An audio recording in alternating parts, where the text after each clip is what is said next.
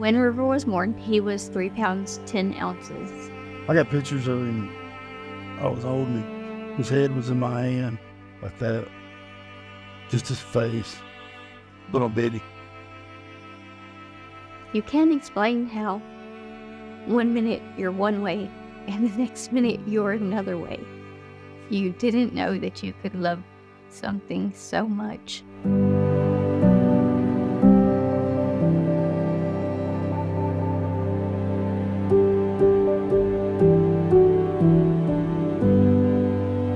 We got pregnant in the spring of 2019, and we had a difficult pregnancy. I had preeclampsia and gestational diabetes. I was about 34 weeks and two days when I went into the hospital.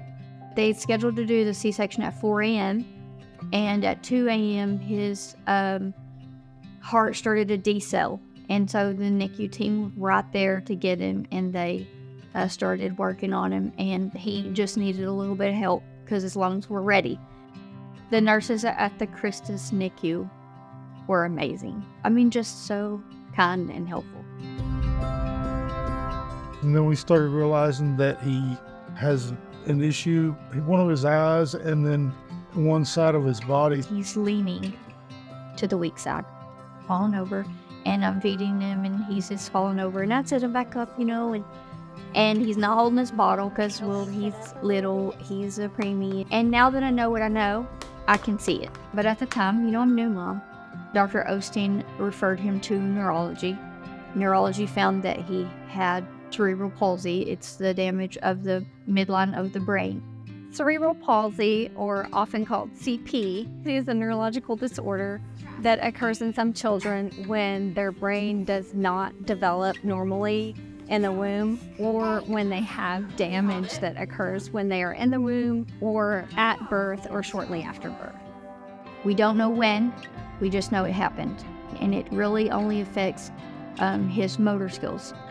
Cerebral palsy is usually treated by therapies and sometimes with medication or even surgeries. With River, he receives physical therapy and occupational therapy because cerebral palsy causes difficulty with using his muscles.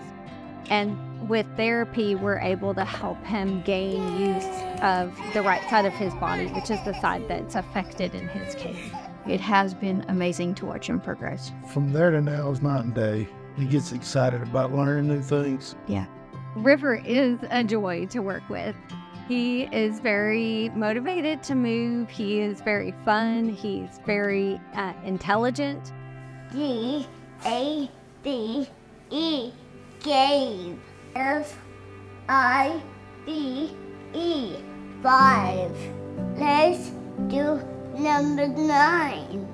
Some people think that all kids that have cerebral palsy have an intellectual impairment, and that is not true. He's very smart, and that makes it so much easier to work toward goals and to really push him to the next steps.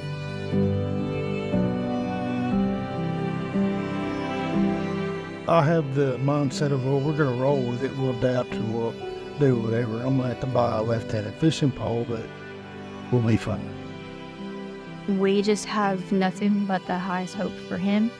Every day he just progresses and progresses and progresses. I feel blessed to have him. so he is my miracle. He is cute too, though.